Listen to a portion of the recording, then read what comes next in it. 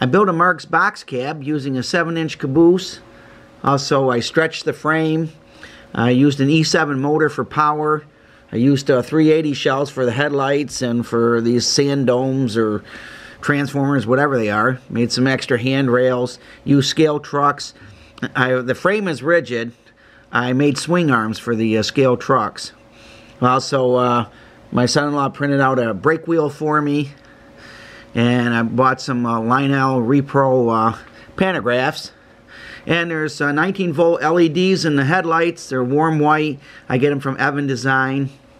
So we'll test it out. Um, should be ready to go. So here we go.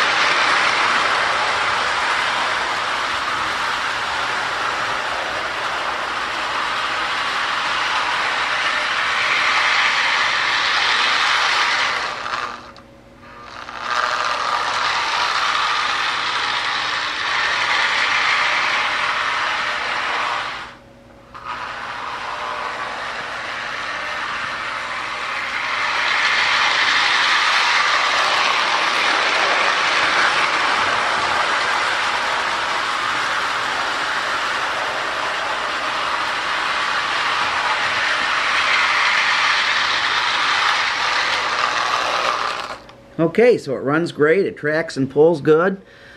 The decals I printed out on a water slide inkjet white paper. I uh, made the uh, New York Central uh, ones myself, the lightning stripe. I used a Windows paint to make the stripes.